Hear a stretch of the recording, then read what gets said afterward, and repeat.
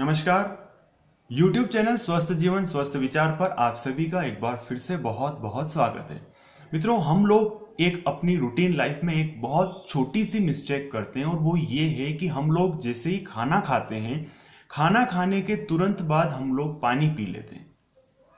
या फिर इसके अपोजिट साइड एक मिस्टेक यह भी करते हैं, बहुत छोटी सी गलती है। वो ये है कि हम लोगों ने अभी लोटा भर के ग्लास दो ग्लास हमने पानी पिया है। और हम तुरंत खाना खाने बैठ गए। अब मित्रों, ये अभ्यास हमारे जीवन में एक ऐसा रूटीन लाइफ में प्रैक्टिस सी हो गई है कि खाना खाने के तुरंत बाद पानी पीना। मित्रों, हमारी माताएँ बहनें हमारे रसोई घर में किचन में बहुत मेहनत करके खाना बनाती हैं और उस भोजन में बहुत सारे पोषक तत्व होते हैं। अब जितने भी न्यूट्रिशंस हम उस खाने में होते हैं, वो हमारे शरीर को पूरी तरह से मिल जाए, हमारा खाया पिया, हमारे शरीर को लगे, ये ये हर एक इंसान की चाहत होती कि जो कुछ भी मैं खा रहा हूँ, वो मेरे शरीर को फ़ायदा पहुँचाए और मुझे बहुत ताकत मिले, शक्ति मिले। ये आप आप भी चाहते हैं और हमें भी चाहता हम सभी चाहते हैं। लेकिन एक छोटी सी मिस्टेक की वजह से, एक छोटी सी, उसको मिस्टेक नहीं कहें, हमारे ही द्वारा किया गया एक छोटा सा एक अभ्यास है उसको बदलने की आवश्यकता है। और वो वो ये है कि खाना खाते ही, खाने के तुरंत बाद हम लोग पानी पी लेते हैं। इससे होता क्या है? अब आप पूछेंगे कि आखिर खाना खाते ही जब हम तुरंत पानी पी लेते हैं तो इससे आखिर फ़र्क क्या पड़ता है? खाना तो पेट में पचेगा। मित्रों, इससे छोटा नहीं, बहुत बड़ा फ़र्क पड़ता है, बहुत बड़ा फ़र्क पड़ता है। और वो फ़र्क ये पड़ता है कि जैसे हमने खाना खाया, वो खाना हमारी पेट में गया उसके तुरंत बाद हम पानी पी लेते हैं। अब पानी पीने से फ़र्क ये पड़ता है कि जैसे ही जहाँ पर हम खाना खाते हैं और जहाँ वो स्टोर होता है, वहाँ पर हमारे शरीर में बहुत सारे पाचक रस बनना स्टार्ट हो जाते हैं। और वो पाचक रस जैसे उनको एचसीएल टाइप कुछ मतलब बहुत जो भोजन को गला दे, जो भोजन को तोड़ दे, ऐसे पाचक रस बनना शुरू होते हैं। ऐसे लिक्विड फॉर्मेट में गाढ़े द्रव्य बनना शुरू हो जाते हैं। उसी को हम कहते हैं जठराग्नि। जठराग्नि का मतलब यह नहीं कि कोई अंदर आग लग रही है। आग नहीं, कुछ पाचक द्रव्य, कुछ ऐसे लिक्विड कुछ ऐसे गाढ़े द्रव्य लिक्विड बनते हैं, रस कह सकते हैं उनको। वो बनना शुरू होते हैं, जैसे हम खाना खाते रहते हैं। अब वो खाने को क्या करते हैं कि बहुत जल्दी गलाते हैं, उसको तोड़ते हैं और आगे ट्रांसफ़र करते हैं आंतों में इंटेस्टाइन में, आगे भेजते हैं। अब क्या होता है कि जैसे ही हमने खाना खाया और ऊपर से हमने ग्लास, दो ग्लास पानी पी लिया। इससे हमारा मन तो तृप्त हो जाएगा, संतुष्टि मिलेगी, गुड फीलिंग होगी। लेकिन वो पाचक रस बहुत पतले हो जाएँगे। वो जो, जिनमें, उनमें जो ताकत होनी चाहिए, जो अग्नि है, उसी को तो कहते हैं कि अग्नि बुझ गई, जठराग्नि बुझ गई। तो वो पाचक रस जैसे ही कमज़ोर पड़ जाएँगे, पतले हो जाएँगे तो आपके द्वारा जो खाया पिया जितने भी पोषक तत्वों भरा खाना है वो ठीक से गलेगा नहीं, और ठीक से टूटेगा नहीं, और पचेगा नहीं। और पचने की बजाय, पचना तो बहुत दूर, वो धीरे धीरे सड़ना शुरू होगा।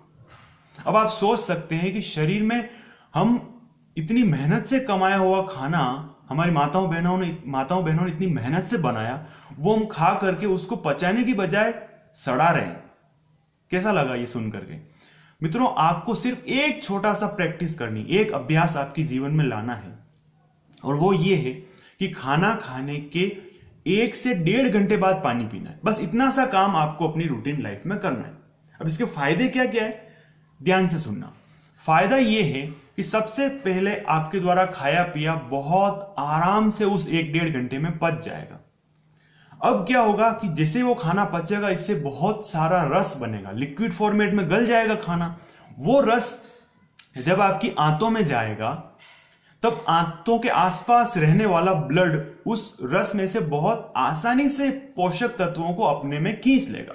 तो आप सोचिए कि बहुत कम मेहनत करनी पड़ रही हमारी आंतों को। तो आप कोशिश कीजिए कि भोजन करने के तुरंत बाद पानी नहीं पिए। एक से डेढ़ घंटे बाद ही पानी पीना है।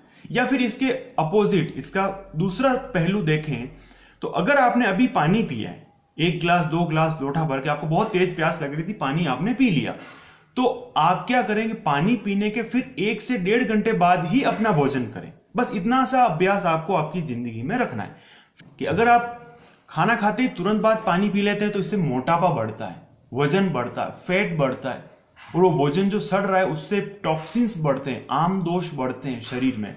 भोजन पच नहीं रहा है तो दोष बढ़ेंगे शरीर में, फैट बढ़ेगी। तो इस बात का ध्यान रखना है कि वज़न भी संतुलित रखना है, पोषक तत्व भी पूरे लेने हैं तो आपको खाना खाने के एक से डेढ़ घंटे बाद पानी पीना है।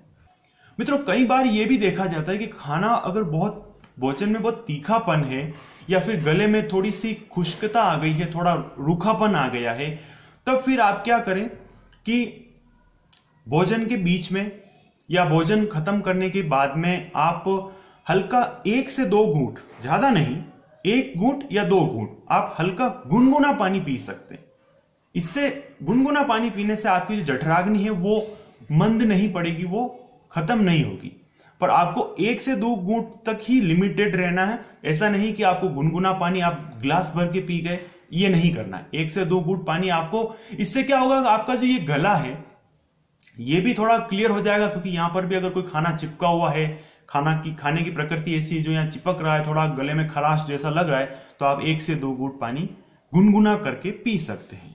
तो मित्रों, इस वीडियो में आपने समझा और जाना कि भोजन के बाद, तुरंत बाद आपको पानी नहीं पीना चाहिए। एक छोटा सा अभ्यास, मेरी इतनी सी बात आप मानेंगे तो आपके जीवन में धीरे धीरे ही सही पर बहुत बड़ा परिवर्तन देखने को मिलेगा। आपका खाया पिया अगर आपके शरीर को लग जाए, आपके खाए हुए खाने के पोषक तत्व आपके शरीर को प्रॉपर तरीके से मिल जाए तो इससे बड़ी बात और क्या हो सकती है मित्रों? आज के लिए इस वीडियो में इतना ही। बहुत जल्दी मैं आपके लिए एक और नया वीडियो लेकर के आऊँगा।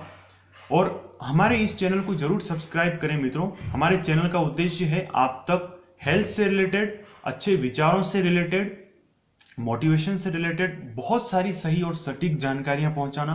तो बेल आइकन के बटन को ज़रूर प्रेस करें ताकि इसी तरीके का कंटेंट और नए वीडियो आप तक जैसे ही पहुँचे, आपको नोटिफिकेशन मिल जाए। आज के लिए फ़िलहाल इतना ही। नमस्कार।